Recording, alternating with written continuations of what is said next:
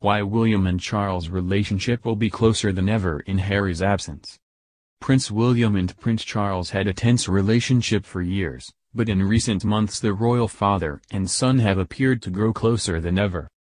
But royal watchers are wondering if their new bond is a result of Prince Harry's absence, as Charles' second son prepares to leave the monarchy behind and seek out a life apart from the royals.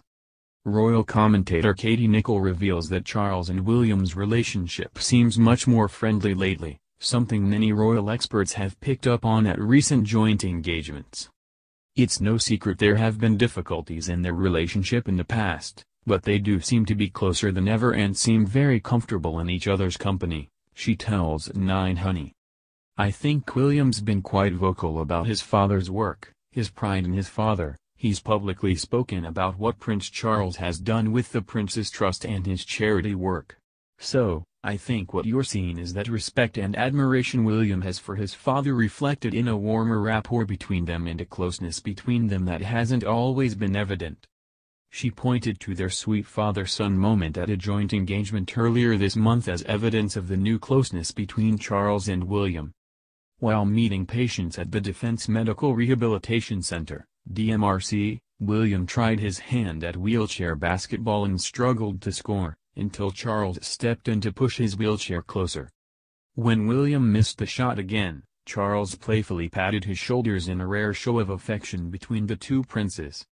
But many believe that it's no coincidence that William and his father are growing closer while Harry is distancing himself from the royal family, ahead of his and Meghan Markle's official exit on 31st of March.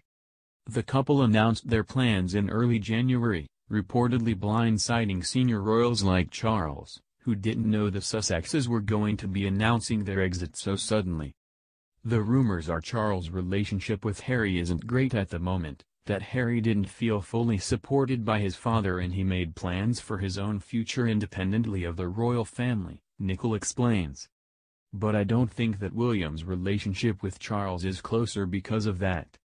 Nicholl believes that Charles' closeness with William is a result of their similar royal roles, rather than a reaction to Harry's upcoming departure.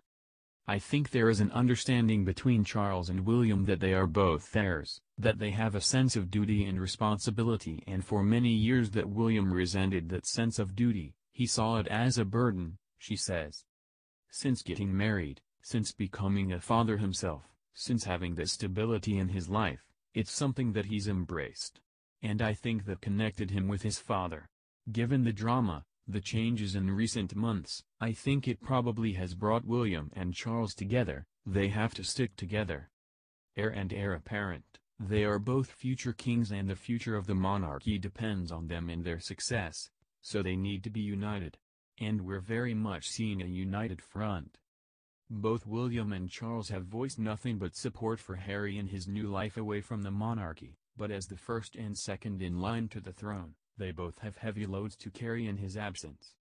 It only makes sense that the father and son will therefore be leaning more on each other in the years to come, especially when Charles eventually takes the throne and becomes our king.